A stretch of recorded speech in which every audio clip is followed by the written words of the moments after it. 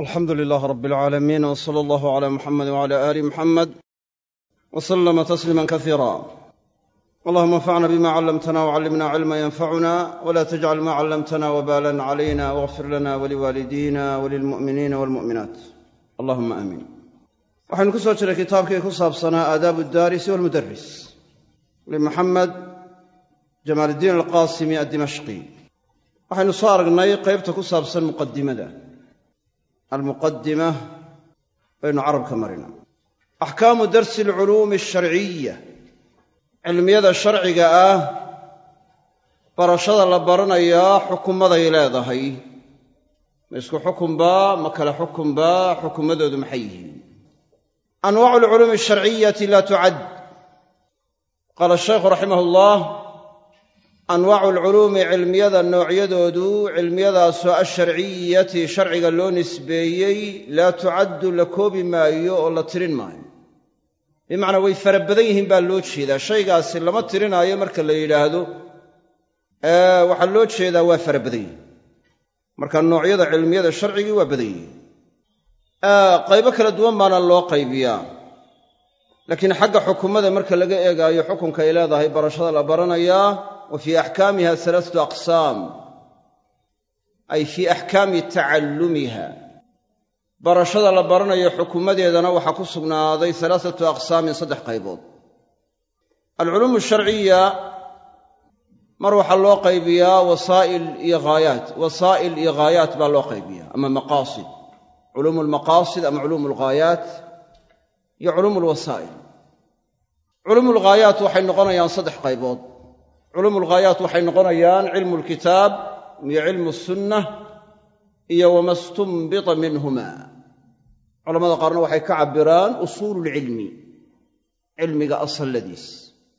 Kitaabka qur'aanka in loo cilmi yeeshaa oo macaanidiisa iyo tafsiirkiisa la aqoonsadaa oo qur'aankii la bartaa lafdan wa macnan waa min culuumi almaqaasid ama min culuumi alghaayaat waa cilmi maqsuud lidaatihi ah oo daat ahaantiisa loo rabo.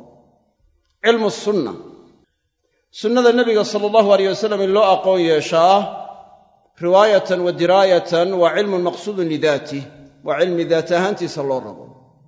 Nooca saddexaad wuxuu yahay ee soo gelayaa wama stunbita minhumaa wixii lagala soo baxay kitaabka iyo sunnada. Hadday tahay hadday tahay axkaam fiqhi ah hadday tahay aadaab iyo akhlaaq.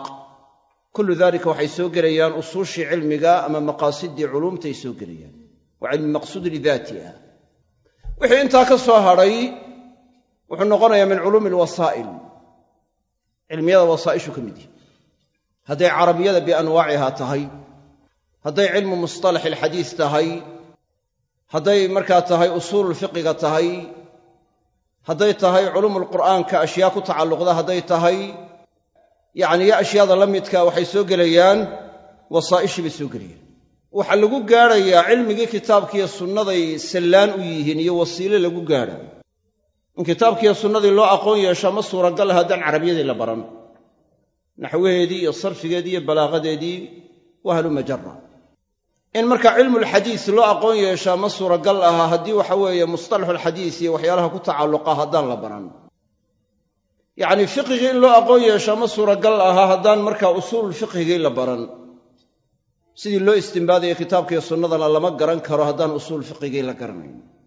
Saas waa culuum alwasaa'il culamada qaarkood naxwaha waxay ku magacaabeen sullamu alculuum waa sallaankii cilmiyada yidhahdeen yacnii haddaad doonto sadxigan guriga xaggiisa sare inaad korto waxaad u baahan tahay sallaan ama haddaad doonto inaad fooq korto waxaad u baahan tahay sallaan ama jaranjaro aad raacdo. Tiijka markaa waxba la raacana wuxuu la mid yahay un hadda sallaankii marka cilmigii naxwaha iyo culumtii kale carabiyaduba sallaankii cilmiyada weeye cilmi kasta waa u baahan yahay. Taqaasiimta marka cilmiyada la qaybinaayo dee ictibaaraad kala duwan baa loo qaybiyaa laakiin hadda sheikhu ictibaar gaaru ka qaybinaya. Haddamaaragta ictibaarkuu ka qaybinayaa waa xagga axkaamta barashadiisa. Xaysiyada yacnii noocaas ayaa qaybintani ku saabsantahy wa fii axkaamiha wa fii axkaami tacallumiha. Culumtaa sharciga ah barashada la baranayo xukumadeeda waxa ku sugan. Hee alaasatu aqsaamin saddex qaybood. Alqismu alawalu qaybta koowaad fardulcayni minha waa farducaynka ka mid a. Wa yuqaalu lahu daruuriyu daruurina waa la yidhahdaa waa mid daruuro loo nisbeeyey. Bimacnaa waa ka fursan waa oo bimacnaa lagama maarmi karo. Wa huwa darsu lmukallafi maa tasixu bihi caqiidatuhu wuxuu inoo sheegi doonaa wa yuqaalu lahu daruuriyu wa yuqaalu lahu alxaajiyu wa yuqaalu lahu altaxsiiniyu. Oo marka laga hadlaayo masaalixda iyo mafaasidda masaalixda waxaa loo qaybiyaa saddex qaybood. Masaalix daruuriya iyo masaalix xaajiyaat la yidhahdo xaajiya iyo masaalix taxsiiniya ama takmiiliya la yidhaahdo. Saddexdii markaa noocee maslaxada ahayd buu kala gelinayaa cilmiyadan. Yacani maslaxada waxaa loo qaybiya xaqiiqiyo iqnaaci marka koowaad. Iqnaacigu waa waxa la moodo inuu maslaxo yahay laakiin fii nafsi alamri aan maslaxo ahayn xaqiiqina waxa weeye waa wax maslaxa xaqiiqiya ah oo dhab ahaan ay maslaxadu ugu sugantahy waxay maslaxadu dhab ahaan ugu sugan tahay waxaa loo qaybiyaa daruuri iyo xaaji iyo taxsiini ama takmiili. Daruuriyaadka waxaa la geliyaa addaruuriyaatu sitta markaa noocyada la yidhaahdo. Wa xifdu ddiin xifdu alnafsi xifdu almaal xifdu alcaqli xifdu alnasab xifdu alcirdi ashyaadaas waa masaalixda daruuriga ah. Ashyaada qaarkoodna xaajiyaad baa la yidhaahdaa. Waa waxyaalaha marka waxa loo baahan yahay oo baahida marka waxa loo qabo. Oo yacni aan gaadhsiisnaynna xadka daruuriyaadka aan gaadhsiisnayn. Oo sababta loo banneeyey markaa buyuuca iyo ijaaradiiyo ashyaada la midka ah. Waayo dee masaalixda dadku kuma qumayso keliya waxa uu gacantiisa ku haysto wuxuu u baahanayaa waxa dadka kale hayaan laftooda inuu wax ka helo waa u baahanaya dariiqu kaga heli lahaa maxay noqon kartaa? Yacni waxa weeye mar kastaba dee in la siiyaa ma dhacaysee? Waa inuu dariiqu ku heli karo uu heli karaa. Saasaa bayca iyo ijaarada iyo ashyaada la midka ay u bannaanaata albayc waalijaara waalrahnu iyo ashyaada la midka. Iyo qardiga iyo ashyaada la midka. Ashyaada makaarim iyo ashyaada la midka xataa ankixadu waxay gelaysaa nooca xaajiyaadka mise nikaax waxaa gelinaysaa xagga daruuriga ya sheekh imaan baa mar weydiiyey isagoo galaas ku jira uhi nikaaxuma wuxuu gelayaa xagga daruurada mise xagga markaa xaajiyaadka markaasaa dhallinyaradii waxay wada yidhahdeen xagga daruuradu gelaya waayahay nooca saddexaad waa nooca takmiiliga ama waa nooca taxsiiniga la yidhahdo marka cilmiyadii barashadoodii wuxuu kala geliyey anwaacdii masaalixda xaqiiqiga ahayd noocyadaasuu kala geliyey. Wa yuqaalu lahu daruuriyu daruuri baa la yidhaahdaa mid daruure loo nisbeeyey daruuradu waa ka fursan waa bimacnaa dhib baa ka imanaysa haddii aan la helin. Dhibaatadaasi mar waxay noqon kartaa dee mid waxa weeye xaggii diinka taabanaysa marna waxay noqon kartaa midaan diinka taabanaynin marka waxa weeye xaggii adduunyada dee aan laga fursan karin. Waayahay wa huwa darsu lmukallafi mukallaf waa ismu mafcuul waa bifatxi illaam waa barashada markaa ruuxa mukallafkii uu barto addoonkaa loo jeedaaye maa tasixu bihi caqiidatuhu waxay ku asaxayso caqiidadiisu ku asaxayso u barto. waxa caqiidadiisu ku asaxayso inuu barto ee ay ku hagaagayso. wa tujzi'u macahu cibaadatuh aynay ku gudayso oo ku asaxayso cibaadatuhu cibaadadiisu wa tanfudu cuquuduhu wa mucaamalatuh ama wa tunafadu loo dabdiyo. Wa tanfudu ay ku fulayso ama wa tunafadu lagu fulinaayo. Wa tanfudu ay ku fulayso oo ay ku soconayso cuquuduhu caqdiyadiis wa mucaamalatuhu iyo mucaamalaadkiis. Yacani waxyaalahay ku ansaxayaan ankixada iyo buyuuca iyo ashyaada la midka ay ku ansaxayaan in la barto oo loo aqoon yeeshaa waxay noqonaysaa fardu caynkay in lala yimaadiyo waxa kala duwan iyo in waxaweeye la barto loo aqoon yeesho waxay ku ansaxayso. Hadday qofkii qabsato waxay ku ansaxayso inuu bartaa. Lagama maarmaan bay diinkiisii u tahay waayo diinkiisiiba ka fasahaadaya haddii kale.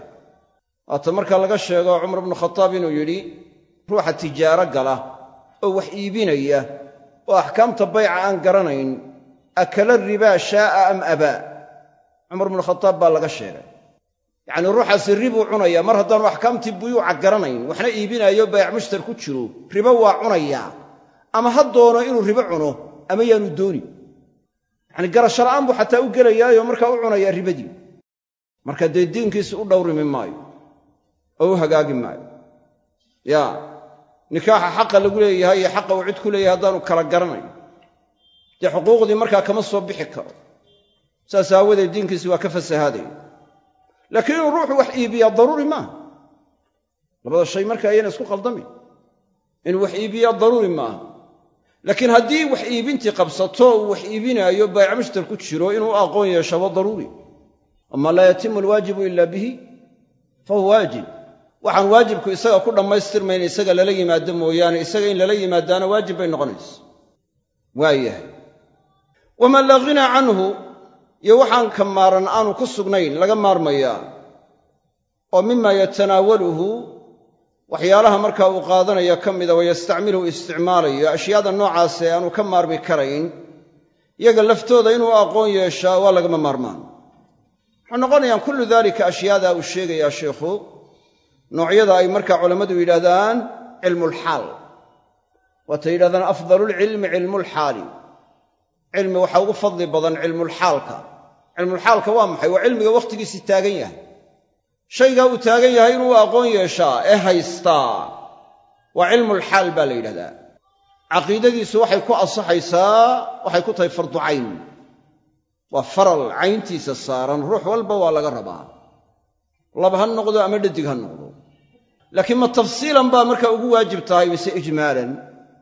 Yacni cumuumka dadka waxay ugu waajib tahay ijmaalan ama cidda culammada ah ee cilmi marka waxa weeye iyadu markaa baratay ee dadku ay wax weydiinayaan ee markaa la daba joogo iyagu markaa waa in si mufasala caqiidadii u bartaan. Laakiin caamatu nnaas waxa saaran oo farducayn ku noqonaya ijmaal.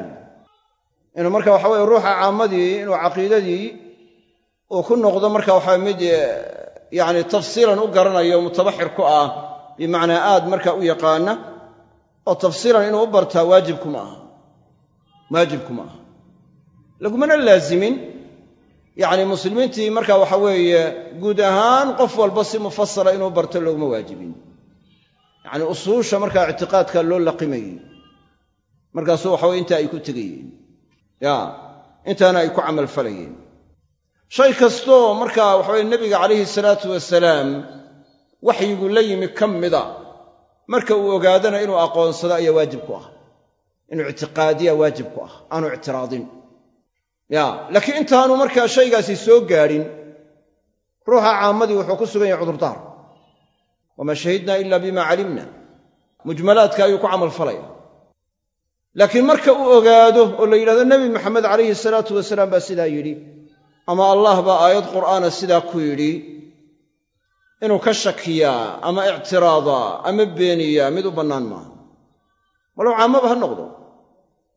Waayo shay kastoo waxyiga ka mida u ogaaday inuu waxyigu allah soo dejiyey ka mid yahay hadduu beeniyo dee waa ku gaaloobaya min xaysu alitlaaq markuu ogaaday bay laazim ku noqonaysaa inuu markaa ictiqaadiyo ay laazim ku noqonaysa. Laakiin marka hore yacni wax walba inaad ogaato laazim bay kugu tahay la odhan maayo. Masaladaasi sharciga ka mid tahay maxaad u ogaan weydi? Inuu ogaadaa mid awooddiisa ku sugnayd ruux kastoo caammada ka mida ma aha. Liyundirakum bihi waman balaq marka cidduu laakiin soo gaadho xujay ku noqonaysa. Marka ictiqaadkii waa inuu waxay caqiidadiisu ku ansaxayso waa inuu aqoon yeesho. Waxay cibaadadiisu ku ansaxayso ku gudayso oo faralku kaga dhacayo waa inuu ogaadaa ou gartaa salaaddii masalan waa inuu tahaaradeedii hadday istijada tahay hadday xadasul akbar maydhashada laga maydhanayo tahay iyo xadasyada waajibinaaya markaa maydha waajibinaya. Hadday xadasul asqar tahay iyo sida waxa weeye markaa looga tahaaro qaadanayo waysadii markuu waysada waayo ama markaa uu awoodi kari waayona siduu u gegabaysanayo inuu u aqoon yeeshaa salaadda iyo wakhtigeeda iyo inta salaadada waajibka ku ah iyo arkaanteeda sida loola imanaayo. Yacni ee loo samaynayo inuu u aqoon yeeshaa waajib bay ku tahay. Arkaantii salaadda inuu la yimaadaa waajib bay ku tahay. Lagama maarmaan weeye. Waa farducayn waa farducayn waxa salaadda buriya waa inuu aqoonsadaa gartaa suu isaga ilaaliyo. Shuruuddii salaadda waa inuu u aqoon yeeshaa si ula yimaado arkaantii salaadda waa inuu aqoon yeeshaa si ula yimaado kullu daalika ashyaadaas inuu aqoonsadaa waajib ku noqonaysa haddii kale salaaddiisii de ma ansaxayso.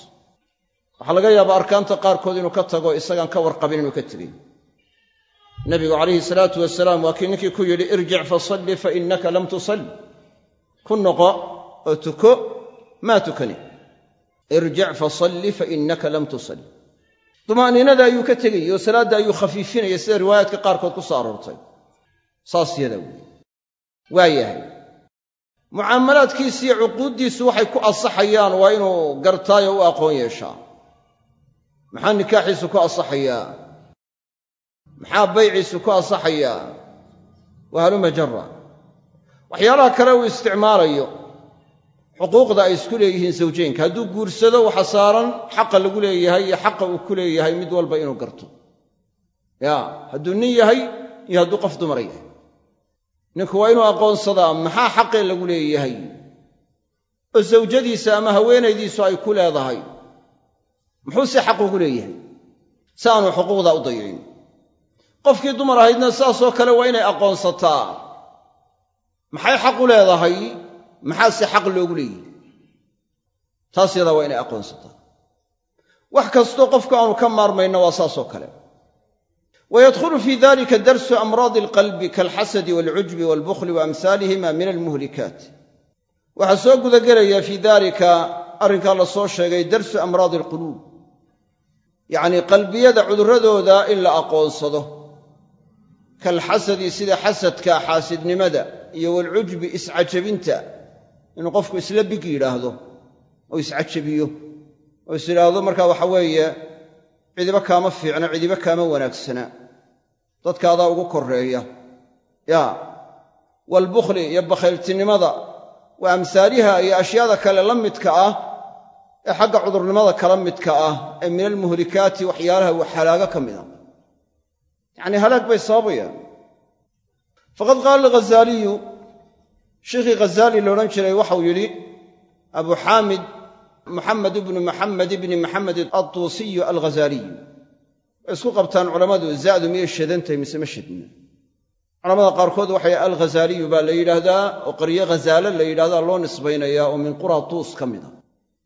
Bacdu ahlicilmina waxay yidhahdaan sinaacatu alghazli ayaa loo nisbaynayaa oo waa alghazaaliyu oo za'du waa shadantay waayah magaciisa muxamed baa la odhan jiray aabbihiina muxamed awowgiina muxamed kunyadiisu waxay ahayd abu xaamid bay ahayd wuxuu dhintay shan boqol iyo shan markii hijirigu ahaa ayuu dhintay. Waxa waa faqiih min fuqahaa'i shaaficiya ayuu ka mid ahaa.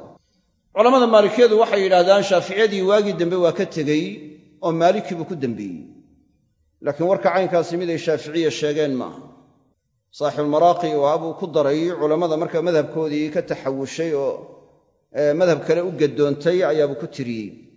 Beyt buu ku cabbiri jiray. Laakiin culammada shaaficiyadu waxay yidhaahdeen wuxuu tamaniyey madhabta shaaficiyadu xagga tahaarada inay kala mid noqoto madhab almaalikiy oo wuxuu yidhi waxaan jeclaan lahaa madhabta shaaficiyadu xagga tahaarada inay kala mid noqoto madhabu imaam maalik. Oo imaam maalik biyaha inta yar iyo inta badanba dee taghayurkunbay ku nijaasoobaan haddii saddexda mid isbeddelaan ama dhadhanka ama midabka ama waxa weeye urta. Saddexdaa mid hadday isku beddelaan najaaso ayuunbay nijaas noqonayaan. Intii yarayd iyo intii badnaydba hadday najaasa ku dhacdo waxay noqonaysaa inay tahaaradii ku baaqi yihiin. Ina almaaa laa yunajisuhu shayun. Xadiisu bidaaca xadiisu bi'ri bidaaca ina almaaa laa yunajisuhu shayun. Biyaha shayna ma nijaaseeyaan. Shayna ma nijaaseeyaan marka wuxuu leeyahy alaslu baqaa'u maa kaana calaa maa kaan daahir buu ahaa soo maaha wax daahiriya tahaaradii buu ku baaqi yahay ilaa wax cadoo ka guuriye la helo. Ijmaac baana markaa lagu hayaa haddii saddexdaa mid isku beddelaan markaa najaaso ama urta ama dhadhanka ama midabka inay nijaaso noqonayaan. Ama ziyaadada ilaa maa halaba calaa riixihi aw lownihi aw tacmihi ziyaadadaasi waa daciifa lam tasix can inabiy sala allahu aleyh wasalam ha yeeshee ijmac baa ku sugan culammadu ay ku ijmaaceen calaa muqtadaaha oo culammadu ay isla ogoliyeen marka walow qollataynba yaynay gaadhinbe haddii waxa weeye najaasa ku dhacdo ayna intaa midnaba isbeddelin imaam maalik kama qabo inay nijaas noqoto imaamu alghazaali waxa uu tamaniyey madhabu shaafici madhabu maalik inay tahaaradaa kula mid noqoto. Oo sidaasoo kale iyaguna ay ku tegi lahaayeen buu jeclaystay oo saasaa la fiicnaatay.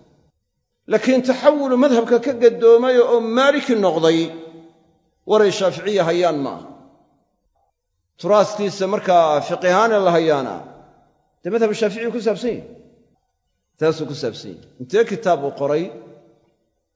Madhab yacni markaa u khidmaynaya oo mawduuca ku saabsan. Waayah wuxuu yidhi faqad qaala alghazaaliyu macrifatu xuduudiha wa asbaabiha wa tibiha wa cilaajiha fardu cayn xanuunnada qalbiga xadadkooda bimacnaa tacaariiftooda xaddu shayi wa tacriifuh shayga xadkiisu waa maxay? Waa tacriifkiis. Xanuunnada qalbiga xuduuddooda bimacnaa tacaariiftooda in la gartaa maxaa lagu tacriifinaya? Xasad muxuu yahay? Cujbi muxuu yahay? Bukhli muxuu yahay? Kibri muxuu yahay? Maxaa kibir la yidhaahdaa? Wa asbaabiha iyo sababaheeda amraadulquluubka waxaa soo gelaya riyaagii waxaa soo gelaya kibirkii waxaa soo gelaya markaa waxa cudurrada qalbiga o dhan baa soo gelaya. Xasadkiiyo xiqdiga iyo cujbiga iyo bukhliga ayaa soo gelaya. Wa haluma jara wa asbaabiha iyo sababahooda wa tibbiha iyo daawayntooda wa cilaajiha iyo dawaynta la dawaynayo labadu waa isku dhow yihiin ama waa mutaraadifaan fardu caynin waa fardu cayn. Wuxuu sheekhu tilmaamayaa raximah ullah cilmiyada fardu caynka waxaa ka mida amraad alquluub in la aqoonsadaa ka mida amraad alquluub waxaa loo qaybiyaa maradu shubha iyo maradu shahwa. Labada nooc maradu shubha waxaa soo gelaya nifaaqa waxaa soo gelaya shakiga waxaa soo gelaya bidcada waxaa soo gelaya yacni markaa wax fara badan baa soo gelaya amraadu shahwa waxaa soo gelaya yacni cujbiga iyo xasadka iyo bukhliga iyo sina jacaylka fayatmaca aladii fii qalbihi marad. Badanka culammadu waxay u fasireen in loo jeedo maradu shahwa maradu shahwati zina in loo jeedo bacdii nifaaq ku fasiray waa jiraan laakiin agsarka culammadu waxay u badan yihiin in looga jeedo maradu shahwa fala takhdacna bilqawli fayatmaca aladii fii qalbihi marad fii quluubihim marad waxaa looga jeedaa maradu shubha loo jeedaa oo qalbigu inuu munaafiqnimo iyo shaki ku buko ayaa laga tilmaamaya marka qalbigu wuxuu u baahan yahay ilaalin badan oo xanuunka qalbiga ku dhaca xanuunka ugama jeedno maradulcudwi ila xanuunka qalbiga ku dhaca marna waa maradu cudwi marna waa maradu diin. Waa xaggii diinka qofku inuu ka bukooday. Marna waa maradulcudwi oo xubinta ayaa bukoonays. Markaasaa la leeyahay waxa weeye qalbigiisa ayaa marka waxa weeye si fiican aan u shaqaynayn. Ama waxa weeye markaa halbowlayaasha qaarkood baa awdmay oo aan marka waxa weeye dhiig maraynin. Ama waxa weeye marka waxaa la odhanayaa yacni marka fasaad baa ku yimi waxyaalaha camaliyaadka marka qalbiga iyo loogu baahdo. Dadka qaarkood waxaaba ku dhaca fashalulqalbi nacuudu billahi min dalik waayahay kaas hadda looma jeedo. Ee amraadulqalbiga loo jeeda wax ka xagga diinka saamaynaya. Ee xubin ahaan kay dhakhtarradu daweeyaan aan ahayn. Dhakhtarrada waxaynu u jeednaa atibaa'u alajsaad wa ilaa culammada waxaa layahay waa atibaa'u alquluubi waalarwaax waa kuwii qalbiyada iyo nafaha daweynaya culammada lagu sheega oo cudurradan markaa qalbiga ayay qofkii ka daweynayaan diin ahaan qofkii inuu u bukoodo marka xanuunnada in loo aqoon yeeshaa waxay soo gelayaan farducaynkay soo gudagelayaan oo nooca daruurigaa weeye oo diinkiisii qofka ma dhammaystir maayo ama ma hagaagaayo haddaanu marka ashyaadaas dee iska ilaalin.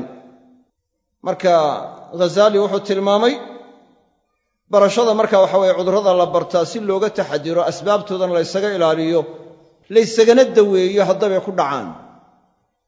Inay tahay mid markaa waajibo fardu cayna inay tahay. Waa min baabi maa laa yatimu alwaajibu ila bihi fahuwa waajibun. Oo ruuxu iskama ilaalin karo haddaanu aqoonsan aanu baran. Waa jiraan bacdu ahli cilmi oo yidhi qofkii aan markaa lagu imtixaanin inuu bartaa waajib kuma aha. Laakiin haddii lagu imtixaanay inuu bartaa waxay ku noqonaysaa fardu cayn. Laakiin kii kale fardu cayn ku noqon mayso haddaan lagu imtixaanin. Ou saalim ka yahay. Bacdu ahlicilmi ayaa saas yadaa yidhi. Waxayse yidhaahdeen haddii aanu si kale isaga ilaalin karin inuu barta mooyaane inuu bartaa waxay ku noqonaysaa mid fardu cayn ah maa laa yatimu alwaajibu ila bihi fahuwa waajibun. Caraftu ashara laa lilshari walakin litawaqiihi waman laa yacrif ishara min annaasi yaqac fiihi. Sharkaan bartay sharnimo uma baran. Waxaan u bartay si aan isaga ilaaliyo. Kaan sharka baranoo dadka ka midina waa ku dhacayaa sharkii isagaan garanay inuu shar yahay. Muxuu yidhi waxa weeyaan xudayfa xudayfatu bnu lyamaan xudayfa abihi maxaa la odhan jiray? Ismu abi xudayfa xusayl xudayfa aabbihi waxaa la odhan jiray xusayl ama xisli ayaa la odhan jiray. Alyamaan waa nisbo yaman loo nisbaynaayo. Oo xudayfe aabbihii isaguna saabiqiintuu ka mid ahaaye? Saxaabada saabiqiintuu ka mid ahaaye. Wakhtigii jaahiliyada qabla alislaam buu dakana galay. Godab sokeeye ayuu galay. Markaasuu dabeedna kudaalay dakana sokeeye ama godab sokeeye markuu galay ayuu kudaalay xagga iyo yaman buu u baxsaday. Kudaalka dadka qaarkood waxay yidhaahdaan waa toloobay sida gobollada dhexe oo kale saasaa laga isticmaalaa laakiin innaga xaggeenna waxaa laga isticmaalaa kudaal ka kud soo lama yidhahdo ka kud waa maxay waa sooma waa kudaalay. Xagga ayaa yaman buu u baxsaday. Markaasaa waxaa la yidhi alyamaan. Bimacnaa waa mansuub ila alyaman waa kii yaman loo nisbeeyey laakiin magaciisa waxaa la odhan jiray xusayl ama xisli. Xusayl baana badnayd isticmaalka. Xudayfat bnu lyamaan wuxuu ihi kaana annaasu yas'aluuna rasuula allahi sala allahu aleyh wasalam can alkhayri wa kuntu as'aluhu can ishari makhaafata an aqaca fiih wa fii lafdin makhaafata an yudrikanii. Dadku rasuulka sala allahu aleyh wasalam waxay weydiin jireen can alkhayri khayrkay weydiin jireen. Wa kuntu as'aluhu can ishar anna waxaan weydiin jiray oo ka waraysan jiray nebiga calayhi salaatu wasalaam xudayfa odhanaya sharka waxaan uga waraysan jiray makhaafata an aqaca fiihi inaan ku dhaco baqasho aan ka baqanaayo ama makhaafata an yudrikanii fii lafdin aakhar. Marka wuxuu tilmaamayaa waxa uu sharka nebiga uga waraysanayaa inay tahay taxadiruu ka taxadiraayo inuu ku dhaco. Marka cudurradan ruuxu marka waa inuu u aqoon yeeshaa asbaabtooda iyo dawadoodaba waa inuu markaa bartaa xadkooda iyo tacriifkoodana waa inuu bartaa si uga taxadiro isaga ilaaliyo. Waayahay xasadku wuxuu noqonayaa waa tamani zawaali nicmati alghayr. Nicmada cid kale leedahay in la jeclaysto qofka inay ka suusho ka tagto ayaa waxaa la yidhaahdaa xasad ayaa la yidhahdaa waxayna u sii qaybsamaysaa laba qaybood. Inuu jeclaysto inta ruuxa markaa nicmada laga qaado isaga in lagu soo wareejiyo. Waa nooc.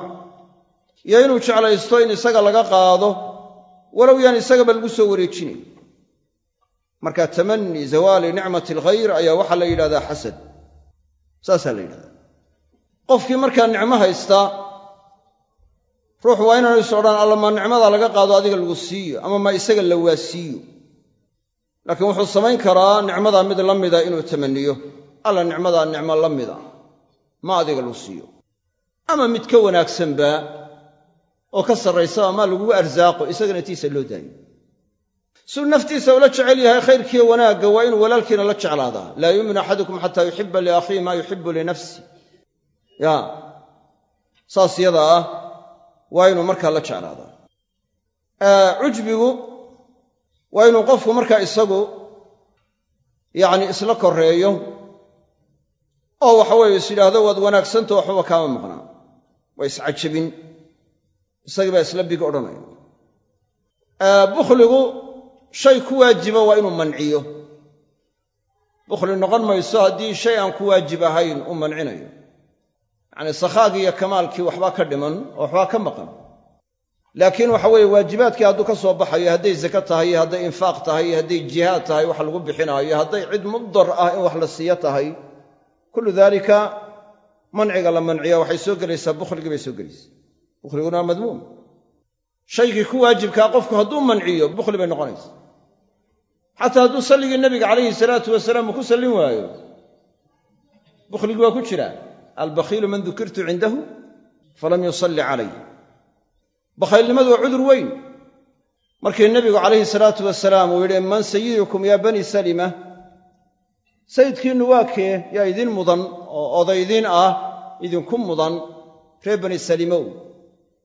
Waxay ku yidhahdeen waa jaddu bnu qays cala anna nubakhiluhu iyo calaa bukhlin fiihi fii lafdin.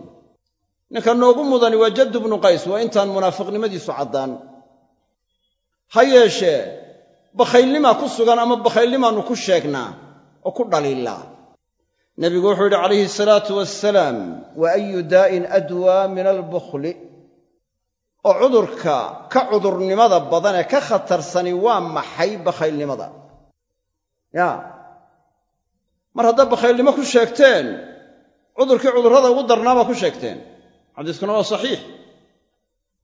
Labada saxiix kuma sugnaan laakiin culammadu waa saxiixiyeen wa ayu daa'in adwaa min albukhl saas aawadeed nebigu calayhi salaatu wasalaam waa ka wareejiyey madaxnimadii inuu mas'uul u noqdo reer bani salima waa ka wareejiyey oo nin kale ayuu ku wareejiyey.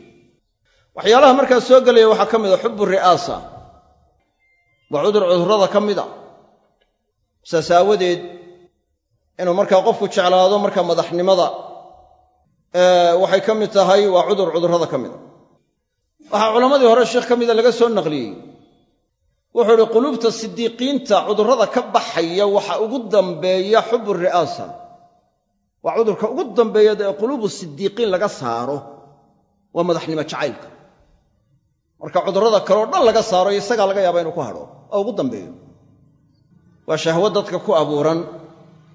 Ka shahwati alakli waalshurbi waaljimaac ya ayaa shahwada ku saabsan xubu ri'aasana ay ku saabsan tahay marka waxaa loo baahan yahay qofkii jacaylku jeclaanayo dee khataray u sii jiidi kartaa dhibaatooyin bayna u sababi kartaa ammaan jacaylkaa ka mid a qofku iska jeclaado in la ammaano walow waxaan ku sugnaynba ha lagu ammaaneen. Wa yuxibbuuna an yuxmaduu bima lam yafcaluu falataxsabannahum bimafaazatin min alcadaab. Qofku inuu jeclaysto waxaan ku sugnayn lagu ammaano. Marka lagu ammaanayo waxaan ku sugnayna iska qaslo waa sidan waa sidan waa hadda waxaanu ahayn markaas iska dhalla caddaynaya. Ya. Waxay ka mid tahay min aladwaa cudurraday ka mid tahay. Waa yahay.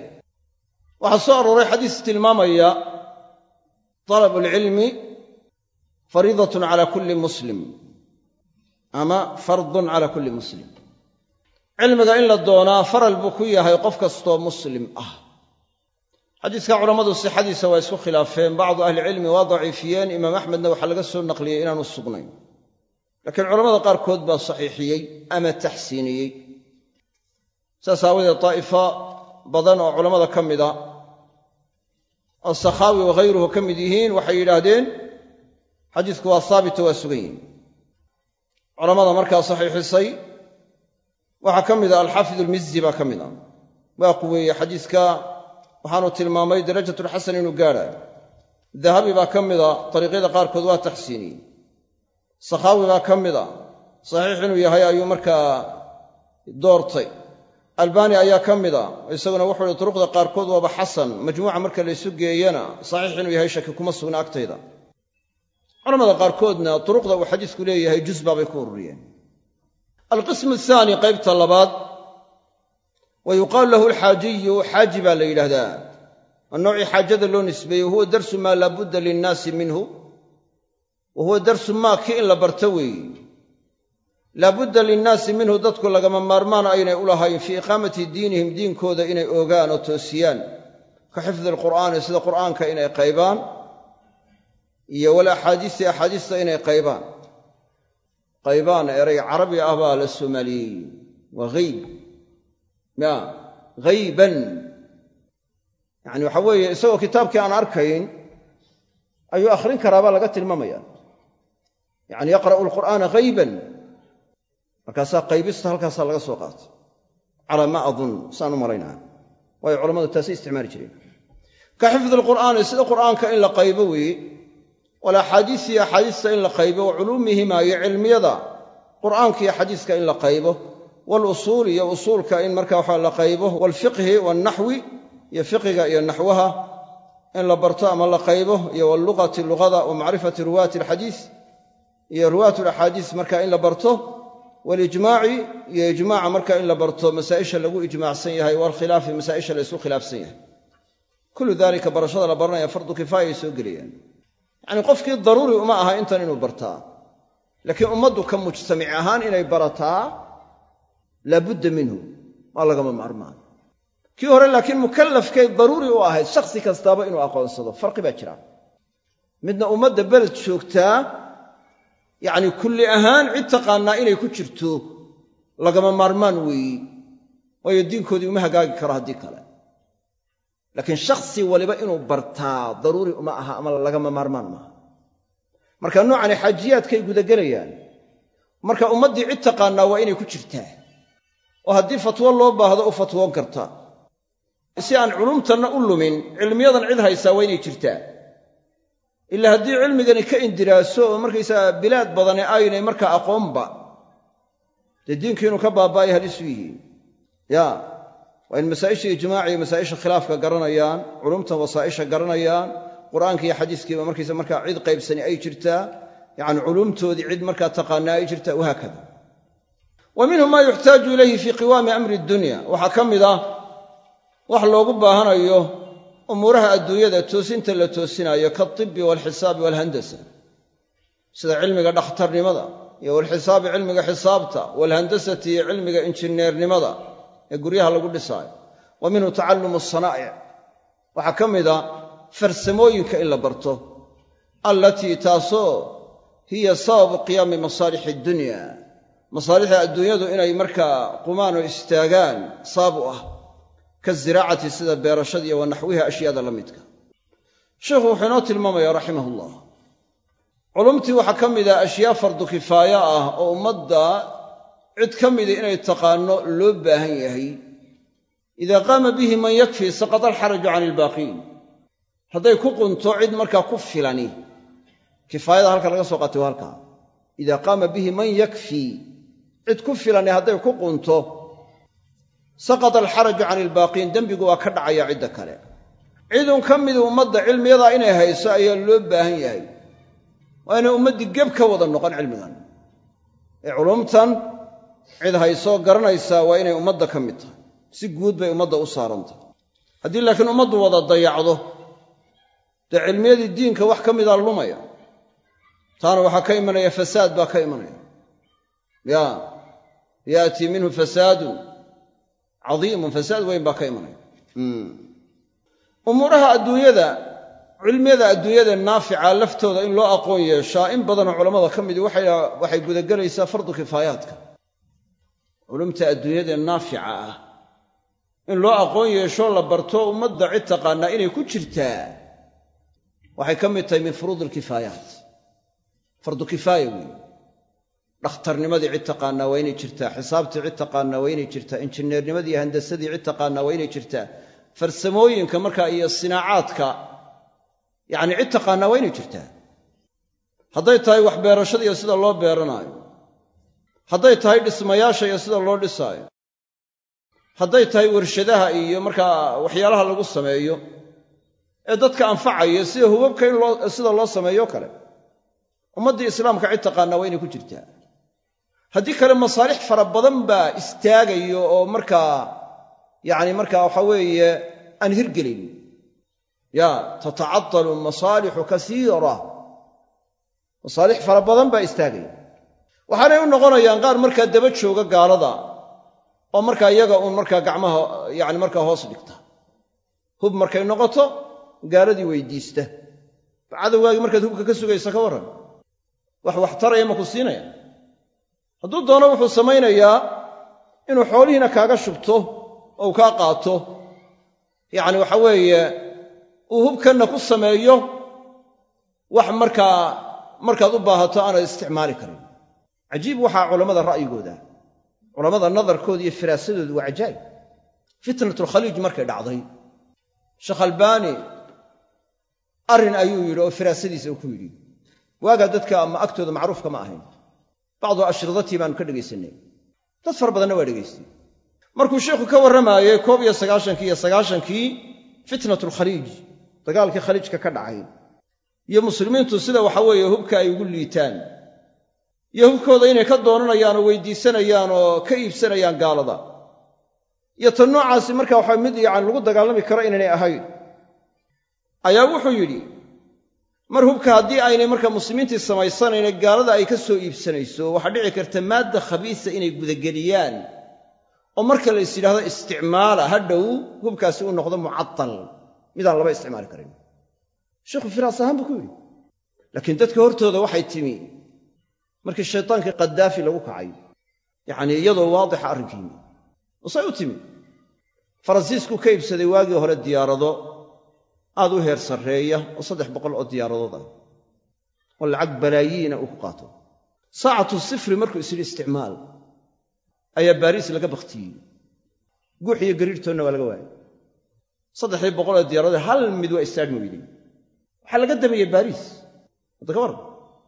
Wuxuu isku hallaynayaana waxay diyaaradahan.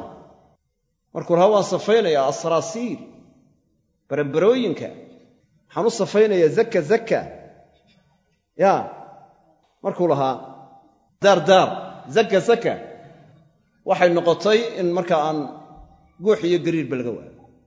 Tusaale ka dhow aan kuu sheego. Gaadhi loo soo iibiyey beledka aynu joogno salaadiinteeda suldaan ka mida ayaa gaadhi loo soo iibiyey. Gaadhigaa ingiriiska baa laga keenay. Markii dambe gaadhigii baa meel hawdkaa ka mida isagoo jooga ayuu gaadhigii bakhtiyey injineeraha laga qaaday markiisa waxaan yani gawadhida taqaana baa burco laga qaaday waa loo geeyey. Yani gaadhigii waa istaari kari waayeen cilladna waa ka waayeen ciddii soo iibisaa lala xidhiidhaa. Waa qisa waaqiciya waxay la xidhiidheen iyaguna shirkaddii waxay yidhahen annagaa daminnay. Way cid wadataanu garan weynay hadda ka warrama ya marka calaa kulli xaal culumta marka waxa weeye maadiga ah waxaa loo baahan yahay in loo aqoon yeeshaa loo baahan yahay bacdu ahlicilmi waxay yidhahdaan culumta maadigaa furuudulkifaayaadka ma geliyaan.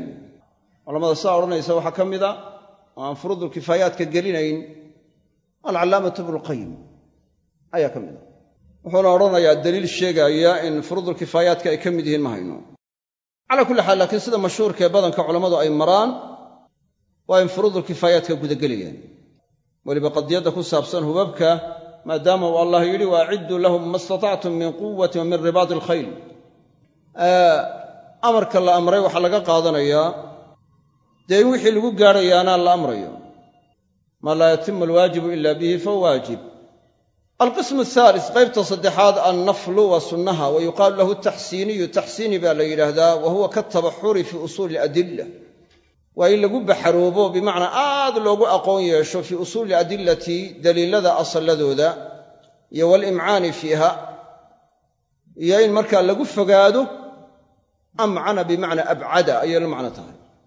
Iyo walimcaani in lagu fogaado fii ma wara'a alqadri aladii yaxsulu bihi fardu lkifaaya yacnii qadarka fardu kifaayuhu ku xasilaye ku sugnaanayo waxa ka dambeeya in lagu fogaado oo cilmigaa aad loo barto lagu sii xeel dheeraado oo lagu baxroobo. Iyo watawasuci imcaankay ku cadfantay iyo tabaxurka iyo watawasuci in lagu balballaarsado oo si ballaadhan loogu aqoon yeesho fii funuuni adab.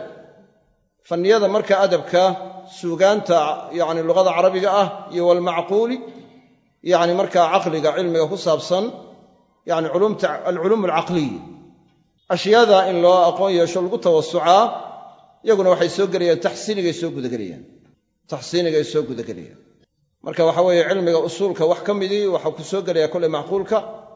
Wa kadalika cilmu lmantiqana waa gudageliyaan qadarkiisa saxiixa ah macquulka inuu soo geliyo. Funuula adab in lagu tawasuco cilmu adab la barto yacni waxa weeye waa arrin marka waxaan yani muhiim ah. Laakiin wuxuu ka mid yahay taxsiiniguu ka mid yahay oo cilmiyada hore la soo sheegay lama qadar ahaa ee wuxuu noqonayaa duuna dalik ayuu markaa noqonayaa. Halkaa inoogu joogo. Wallahu aclam subxaanaka allahuma wabixamdika ashhadu an laa ilaaha ila anta astaqfiruka atuub ilayk